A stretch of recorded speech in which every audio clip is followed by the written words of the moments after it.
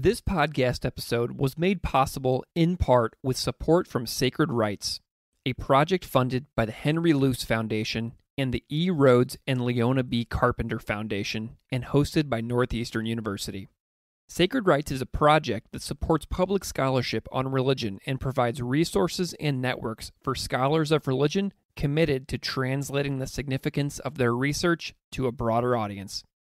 I recommend you learn more about Sacred Writes on their website at sacred writes.org or find Sacred Writes on Twitter at sacred underscore writes.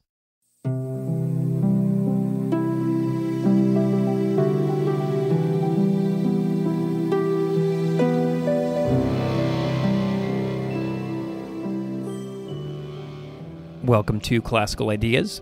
This is Greg Soden, and this is a podcast where, since 2017, I discuss all things religion with a variety of fantastic scholars, experts, authors, and educators. On this episode, my guest is Dr. Eugenia Rainey. Eugenia Rainey is an anthropologist who specializes in the intersection of Lukumi religion and biomedicine. Her interests are centered in African diaspora religions lived religion, race, medical anthropology, and healing. Dr. Rainey is working on a book project about religion as negotiated practice, examining the relationship between biomedicine and Lukumi in South Florida. Currently a Mellon postdoctoral fellow at Dartmouth College, she holds a PhD in anthropology from Tulane University. This conversation focuses on Lukumi, the path through anthropology, and the importance of public scholarship. Please enjoy my conversation with Dr. Eugenia Rainey.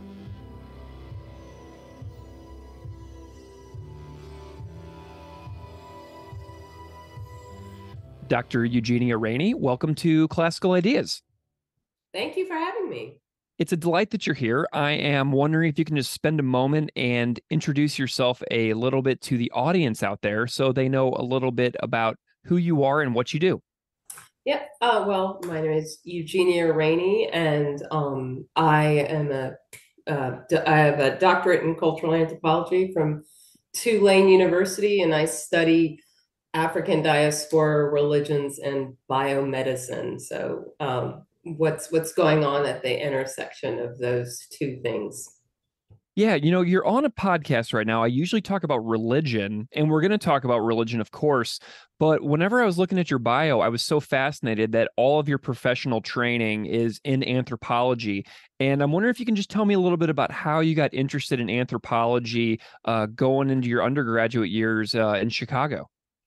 Honestly, anthropology was always at the top of my list. And, and I'm not really sure why. I guess um, that would take a little more self-reflection on my part but it was always it was always at the top of my list uh, when i entered college and um, and yeah by the time it was time to declare a major i was pretty much set on the idea but i started out studying south asia uh, and looking at Hinduism and the intersection of the intersection of Hinduism and healthcare in India and um, after college, I, I ended up switching to um, Afro, Afro, um, African diaspora religions, but that space of religion and healthcare, I, I never left. Wonderful. So you kind of came in with a an in it was the interest in religion and healthcare kind of equal in the beginning, and that's kind of you had a focus going in like that early. Gosh, um, I don't remember. Interesting. it, it's been a long time, but it's it's always it's been there as long as I've been in anthropology. So yeah. Wonderful. Well, one of my friends is a doctor, and his undergraduate degree that he did before he went to med school was in anthropology as well. So mm-hmm. like I know a person who was interested in anthropology from a young age but then also became a doctor and got interested in medicine. So like I don't see these things as like, you know, I see this as a very natural progression for you, which I think is really interesting to see. Yeah, and I think perhaps probably one of those major influences would have been Foucault's Birth of the Clinic, mm. um, which I read. I don't know if I read that before I declared my major or not, but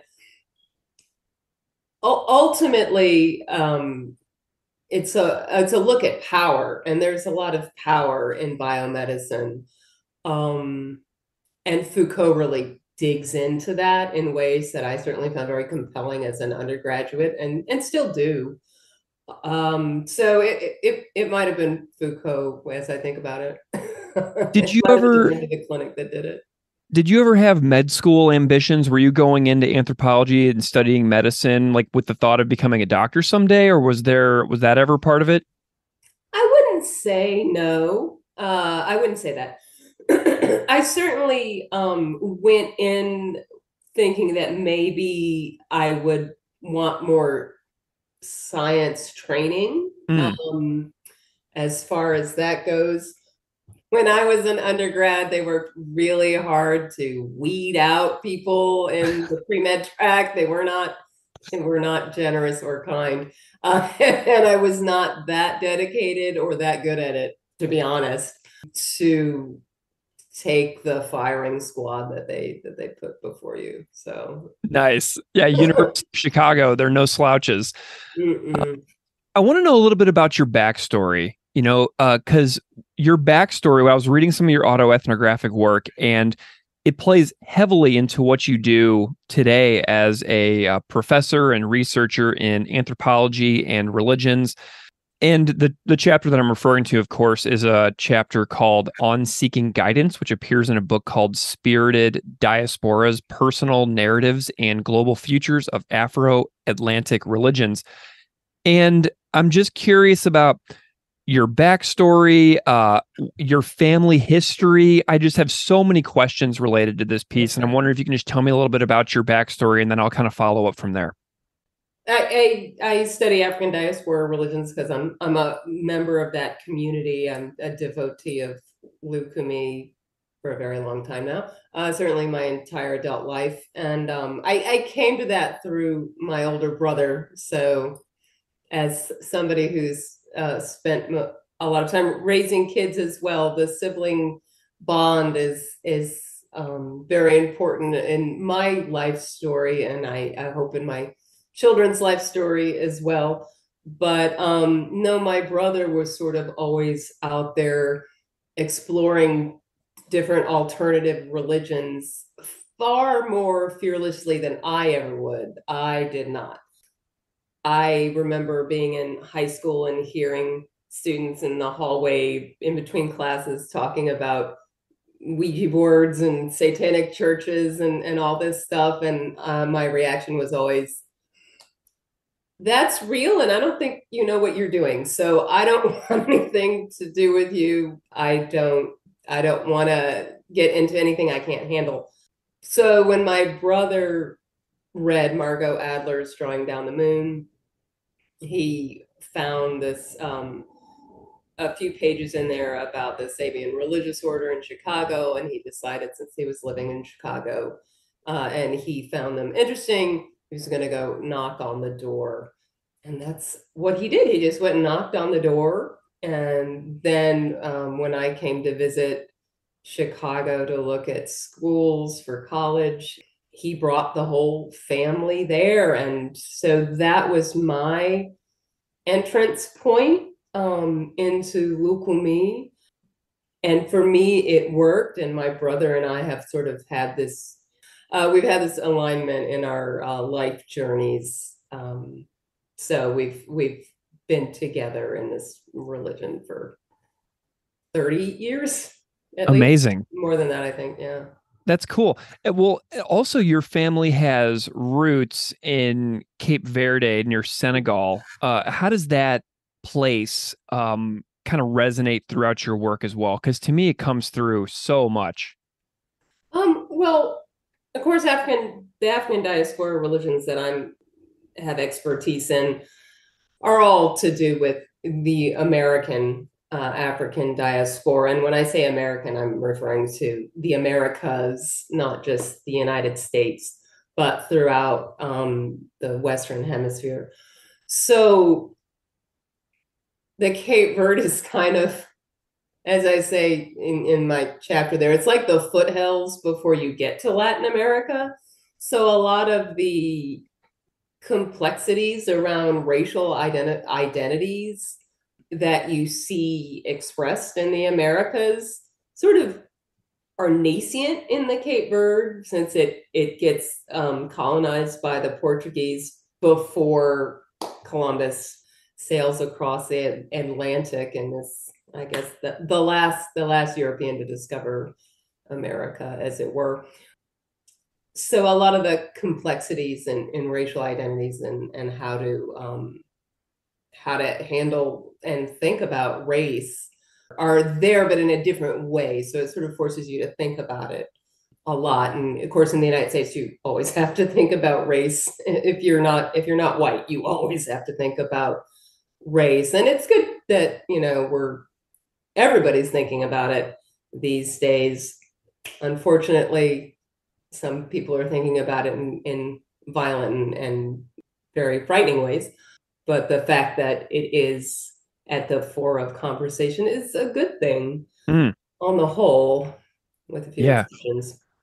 Well, and I noticed that our life stories overlap just a teeny tiny little bit in my home state of Missouri. And you were living in Missouri. I think from the work, it, seemed like you were there like all throughout the 80s. Um, and I was living in Missouri in the 80s as well, just down the road in St. Louis. But everything you just said about thinking about race as uh, somebody who isn't white is uh, has always been part of the thought process and for a lot of people it's a brand new part of the thought process and i'm wondering if you can tie missouri in just a little bit here and you know say what those years of living in in my home state kind of did for you as a, a, thinker in the world yeah for me and you know um, my mom's cape verdean my dad is is white and we were living and in the 80s in central missouri there was really no place for somebody like me. Uh, it, it, there was no conceptually there people didn't have a, a nowhere to put me and it was very very racist. And my brothers who were older than me had to deal with it a lot more. It was a lot more at the fore for them. It was a lot more in your face for my brothers and for my mother. So that was dinner that was dinner conversation. For me as a young kid and for for me it was less in my own life because uh, i perhaps because i was so young. It's it's a complicated question, but certainly uh, somewhat in my life and certainly in dinner table conversation, the experiences of my family, it was always at the fore. Um, the conflicts, the racial conflicts that they were constantly forced to deal with. Let's go back to religion really quick. I have never talked about Lukumi on this podcast ever. And I think that I would be doing a massive disservice to uh, the spirit of the show if we didn't chat about some of the practices and um, you know beliefs of Lukumi in general. What is some information about Lukumi that you think that everybody listening out there should know? It's part of the African diaspora caused by the transatlantic slave trade. It's rooted in Yoruba religion and the Yoruba span Nigeria, Togo, and Benin in West Africa. So it comes to Cuba, to um, Trinidad, to Brazil, um, uh, and also throughout. Um, there are many African diaspora religions. It's not only the Yoruba, there's the Congo and, and Dahomey and, and many other places as well but uh, as Lukumi goes, it's primarily rooted in the worship of the Orisha, of Egun, which are your ancestors.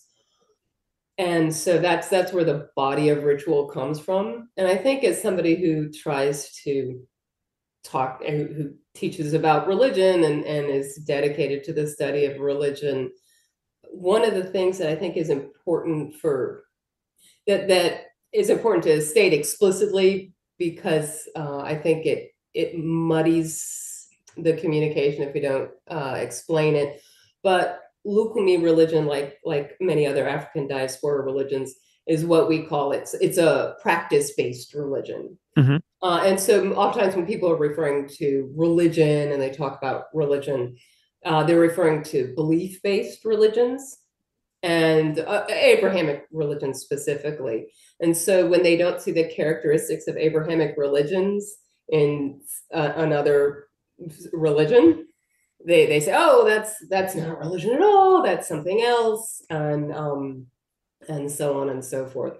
So I think it's important to sort of dis- make that distinction. Uh, Mhm. Abrahamic religions and their characteristics are generally the characteristics of Abrahamic religions that come to mind are ex- exclusive membership, hierarchical institutions, uh, professing belief, Mhm. and regular attendance in religious um fun and in religious functions, you know, going to church and uh, going to mosque, praying four times a day, what have you, is focused on eschatology, like what happens when you die, what happens when Right. Everything in your life is preparing for when you die. Uh, but in Lukumi, it's far more focused on the here and now and getting through this life and your relationship with all these uh, Orisha and how you how you can be close to them and close to your ancestors and cultivate those relationships. And it's not really about what happens when you die. It's a really more focused on how you live. Right.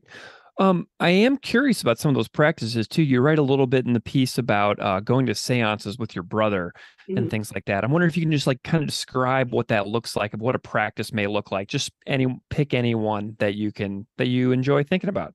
Okay, and I'm glad you asked that question actually, because that's an element of African diaspora religions that's specific to the Americas, because that is a European uh, tradition actually. Mm. Spiritism is very popular throughout Latin America, and that's uh, credited to Allan Kardec, uh, who was a mid 19th century French gentleman who went to Brazil and he cultivated um, the misa in in Cuba. You refer to it as a misa. When I was uh, coming up in Chicago, we always refer to it as seances. So it depends on who you're talking to, but essentially the white tablecloth misa is um, the you, white tablecloth on a, a table, glasses of water dedicated to different spirits, candles, and people meditate and communicate with spirits in the effort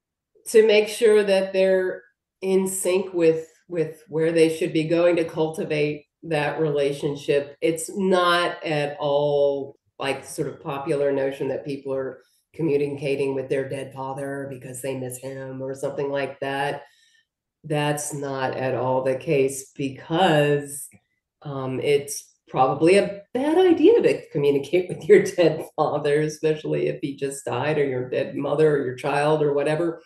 You know, the understanding is that the transition from life um, from being incarnate in a body to being disincarnate and just in the spirit world, it's a difficult transition. And if you keep trying to pull spirits back for your own, you know, satisfaction or to, you know, get over your your loneliness or the void that's left because they're not in your life anymore it's it's not healthy Hmm. that's that's not a, a that's not a good use of a seance or a misa. The the objective the understanding and and this is from allan kardec this is not an african diaspora um, expression although those get practice is quite fluid. So most of the people that i know uh, in the lukumi community myself included these um, are practices that that everybody does because there isn't the idea of exclusivity that you, you know you have to do one thing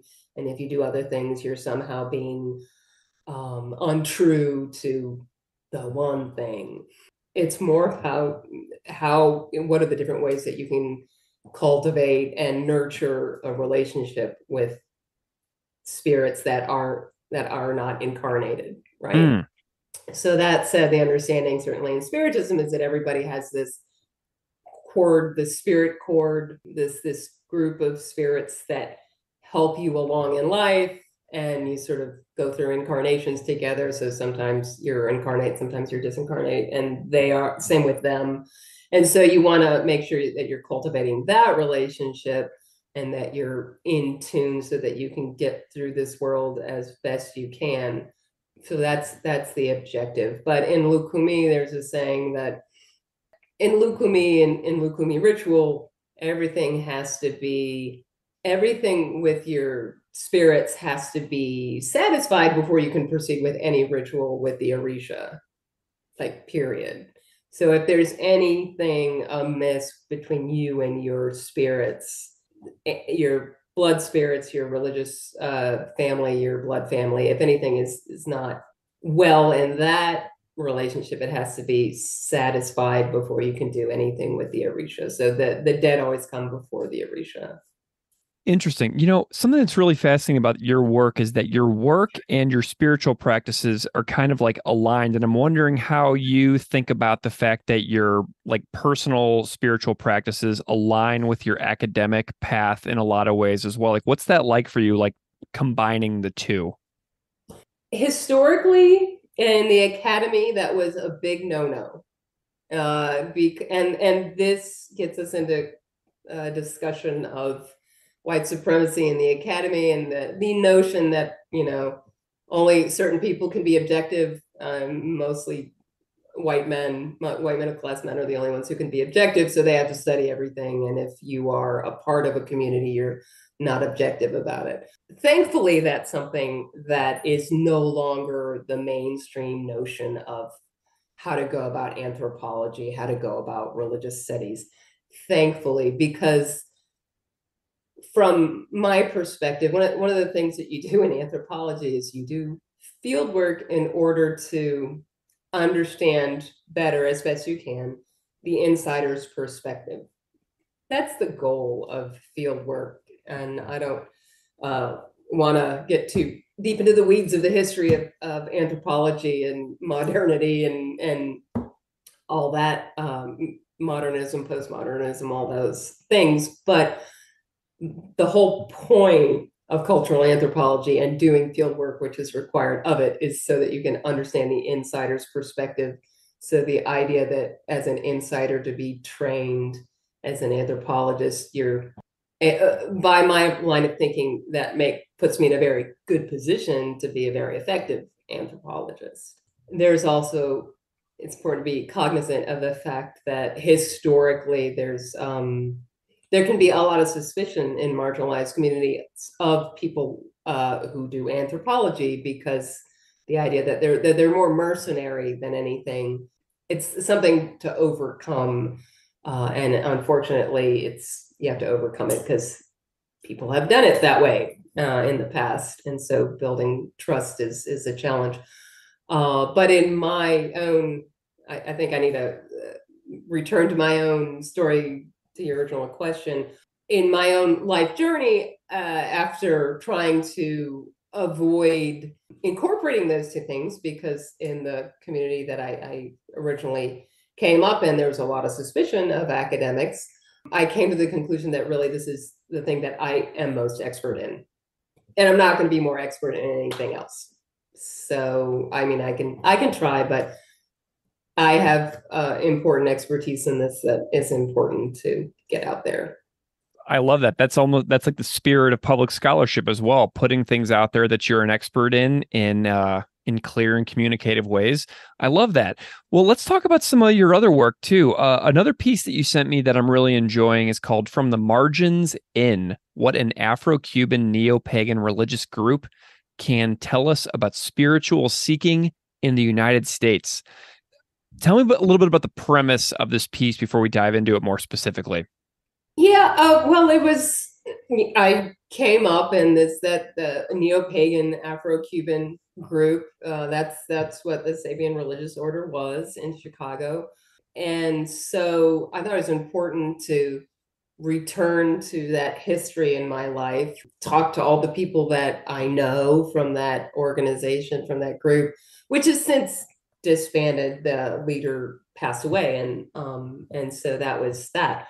But nonetheless, what motivated uh, everybody to to be a part of that group was very much aligned with what's motivated much many baby boomers um, to be a part of many different uh, new age and neo-pagan and christian um, uh, evangelical groups.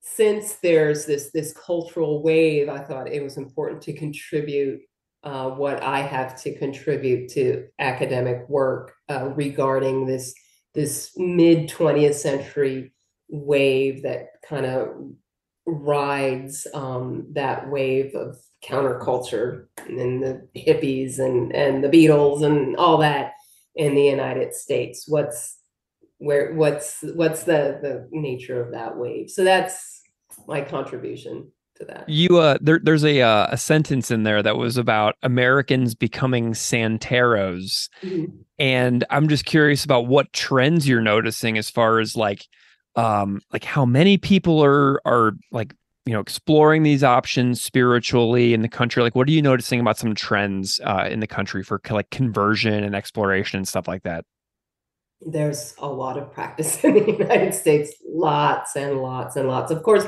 you have many immigrants coming from latin america um, and so you have those communities but you also have these larger communities of people that oftentimes yes come from backgrounds where they're interested in wicca or they're interested in um, masonry. They're interested in any sort of practice-based esoteric religious tradition that they can explore. Um, and so yes there are many american santeros these days. And of course the use of the term santero is also a bit um, not really loaded. Uh, in the cuban community it's a totally fluid no big deal term. Uh, but of course, it's a reference to Santeria, and Santeria is uh, a term that's uh, pretty derogatory, even though that not everybody um, takes offense at it, but it is it is a, a derogatory term uh, versus Olorisha, which is you know somebody who has Orisha, somebody who's gone through um, the rituals in order to get those spiritual implements that's a more that's a term that I would use. Nonetheless, it's very popular in the United States, and uh, so I, I'm just one example of that. But there's other places where you can see part of it. What was uh fun about this about about writing this piece? Like, what did you enjoy about the process of doing this research? it was nice to talk to people that I'd been at rituals with for so many years and and ask them questions that you know you don't get to ask them when you're you know doing ritual work together because you're just kind of busy with it um so and it, and it was also really satisfying to see the parallels between people's life stories and um what I was reading in the literature about religious shifts in the baby boom generation in the mid 20th century with the counterculture movements. So it's it's it's nice to be able to appreciate your place in in history. Yeah, it's kind of like a documenting their their own life stories too. You know what I mean? Like you putting down people's stories is kind of like, you know, putting their wisdom out into the world as well to share and kind of documenting the things that they've picked up on their own journeys. It's really cool. Yeah, yeah, yeah. I enjoyed it very much. What were the uh, methods like for the methodology? You mentioned the methodology right there in the abstract, and I'm wondering if you had any specific, um, you know, thoughts and ideas that you wanted to share about how you go about doing the work. Yeah, it's um, you know, it's it's funny when I started studying anthropology they just kind of gave you a, pencil and a notebook and told you to go out and do field work and you had you had no idea what to do yeah they just wanted you to stumble through i guess but uh, when i decided to go back to graduate school it was wonderful. We had classes in it. It was it was great. It was a sea change. Uh, but uh, my methods are your classic cultural anthropology methods participant observation and interviewing. And of course you have formal interviews and informal interviews and um, structured and semi-structured interviews. I think what is what is most critical in my experience, I, mean, Uh, when you're doing research, obviously you want to be comparing apples to apples. So it's important to make sure that when you interview somebody, you have either que- that your questions align, but it's also important to not have a, a not decide ahead of time what you expect their answer to be. The whole point of research is to discover, right? So you know, I mean, make sure that things are open ended enough that people can go in any direction they like. And that's when you really that's when it's it's exciting and you're learning things because you let people talk. And what i do more than anything is listen. Mhm. that's my job more than anything is to listen. That's my job what we're doing right now. I just like love having people uh I, I totally understand because i'm i feel like i'm doing almost like that exact same thing with the podcast um okay so let's talk about some public scholarship stuff for a few minutes you're part of the sacred writes program funded by luce foundation for a project called public scholarship on race justice and religion and I'm wondering your thoughts on like why it's important to be a part of the public conversation, be a public facing scholar. Tell me a little bit about your own journey with that. Well, um, as as uh, as the Religion 101 podcast goes, right? Religion, Yeah. religion. You might be done with religion, but religion's not done with you.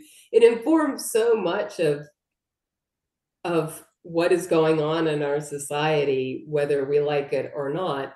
Um, as a cultural anthropologist, you know, my my position on what religion is is sort of under the umbrella of culture. I don't I don't see it as separate from culture at all.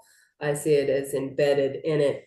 But that being able to think about its effect on the wider society is really important, especially when, as a society, we're grappling with this problem, that problem, the other problem. If we don't seek to understand the ways in which that problem came about or the ways in which um, you know society influences you know xyz problem then we're not going to get too far in solving our problem so Mm. What do you think are some of the uh like the risks and the rewards and responsibilities for you do it personally doing public scholarship? Like is there anything you're nervous about? Is there anything that you're like really hoping for to like get out of it?